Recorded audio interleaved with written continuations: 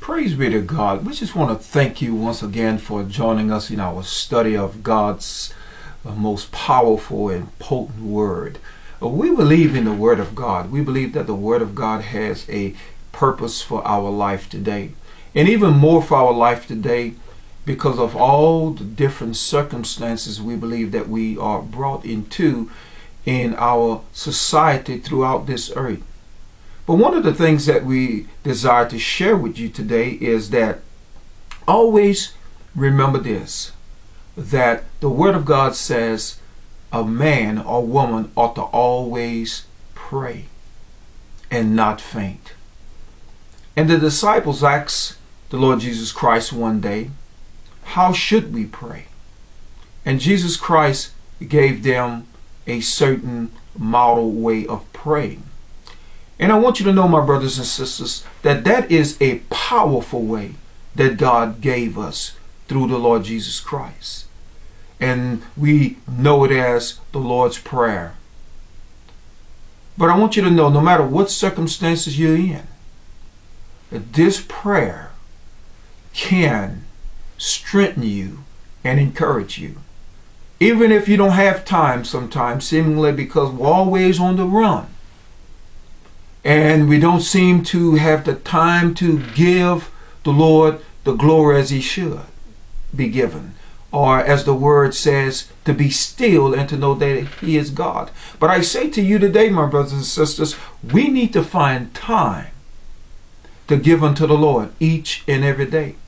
And I believe the beginning of prayer can begin right here in Matthew, the sixth chapter, in the ninth verse and it's the Lord sharing with us how we should pray as he taught his disciples. And he said unto them, Pray after this manner, therefore pray you. In other words, in this attitude, in this manner, pray this prayer. And my brothers and sisters, when you pray, remember to be cognizant of what you are actually saying. Don't only see it in, in your head, but see it in your heart. Not only say it in a repetitive way, but say it in a meditative way. That it will resonate in your spirit and in your heart. And I tell you today, in the name of Jesus Christ, this simple prayer can revolutionize and change your life forever. I remember the sister that I interviewed, Sister Immaculate Ilibagiza. Now, some of you may not know that name, but she is the, the, the woman today that was caught in the Rwandan genocide back in the days of Clinton's administration. I was truly blessed to have interviewed her. And I remember her telling me and sharing with me how she prayed this prayer over and over and over again every day, keeping her mind on God. And the circumstances that she was in, my brothers and sisters, you and I may never ever have to rely upon our faith in God in such a manner. She was, her and eight other women were put in a bathroom by a pastor of a Baptist church and they were put in her bathroom because there were those who wanted to kill them. They were the uh, the Tutsis and the Hutus who were battling against one another. And here they were in a bathroom, a small bathroom, very small, maybe eight feet wide and, and, and six feet in depth. And here they were all in this bathroom. And as she was praying that prayer, there were soldiers that was gathered all around with machetes, with guns, with sticks to come and kill them. They were trying to find everyone who was not like them, and they were going to kill them. And they came into this pastor's house and they looked for them, and they could not find them. And when they left out, they waited for a while and they was come back in again. And, and the Lord spoke to her heart and, and she uh, reached out and said to the pastor, the pastor, put this uh, dresser in front of the door. And he did so. And she said, through the account of the pastors, that over 200 soldiers passed through that house looking for them, wanting to destroy them and kill them, and yet could not find them. This is God. And she said it came through that simple prayer and trust and believing God. My brothers and sisters, I want you to know that this is a powerful prayer. And we want to take a moment today to dissect this prayer, to look within that prayer, to look at the boundaries of this prayer, to look at the heights of this prayer, and what God will say to you and I today for our circumstances that we face. Jesus said, After this manner, therefore, pray ye. Our Father, which art in heaven, hallowed be thy name. Your Father, you're recognizing that He is your Father. He is intimate with you, and you can consider Him and call Him Father. And this is what Jesus Christ is saying. Jesus Christ is trying to establish a, a point of view that they can change from what they are or what they believe. Many times they believed, and as many times we believe, that He is God, and that He is. But even greater than that, He is our Father, because that makes it more intimate. You know, a lot of people will say to you, or say to I, you know, I'd rather use his name. He's Jehovah. He's Adonai. He's this and he's that.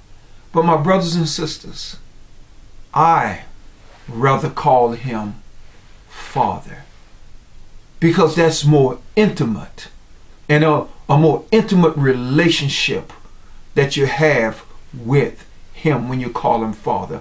And Jesus was trying to establish that with these Jewish believers. That he's no longer just God to you, that gave the Ten Commandments that you were to follow and you were to obey, but now he has become your Father.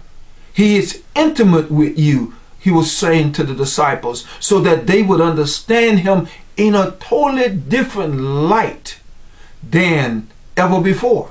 Because Jesus Christ, remember, Jesus Christ said, He is my Father. And they wanted to destroy him, they wanted to kill him because he said that he had come from heaven and that God was his Father. That's why they rejected him. Uh, the Pharisees, the Sadducees, and the scribes, they didn't reject him because he said he was from God. They reject him because he was actually calling God his Father, which he is to you and I. He is now our Father. Rejoice in that, my brothers and sisters. Rejoice in that thought that he is now your Father. Not just God, not just someone who is sitting out in the stratosphere somewhere. But no, he is intimate with you. He has come to sup. He has come to abide in you by his Holy Spirit. And now you can call him Father. Even the same terms that Jesus used. Some folk ask me, well, why not call him Jehovah? Why not call him Adonai? Why not call him Elohim? That's okay. But he's my father. He's your father. What did God the Father tell Moses when Moses said, You want me to deliver your people, but who will I tell them has sent me? And he said, Say to them, I am that I am. My brothers, my sisters, he is I am that I am in your life. He has become your father. Jesus recognized him as his fathers. And now here he was allowing the disciples also to call him father.